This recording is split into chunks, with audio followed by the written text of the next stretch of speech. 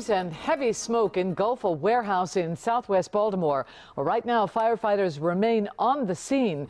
Crews say Mother Nature made it difficult to extinguish, with winds helping to fan the flames.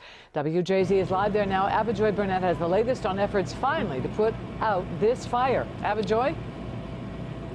Denise, good evening to you. The fire started just before 4 this afternoon. Now, seven hours later, crews are still here on the scene.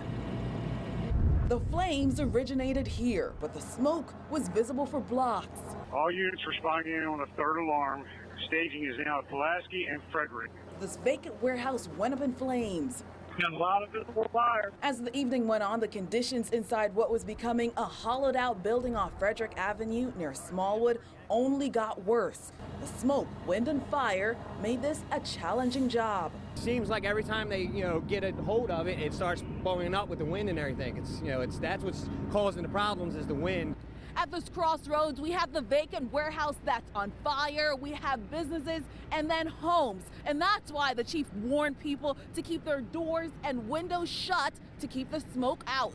I don't even know where it came from. Just this whole bunch of smoke out of nowhere. It's covering the whole street. Bystanders watched in awe, and the fire kept flaring up. It's very labor intense. Uh, these type of situations are.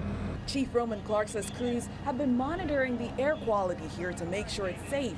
But the biggest challenge has been getting those hot spots and knocking out the fire that just kept on reigniting. Without a question, they're equipped to be here till tomorrow morning if need be, and, and they will have relief to come in. And that's the way it is.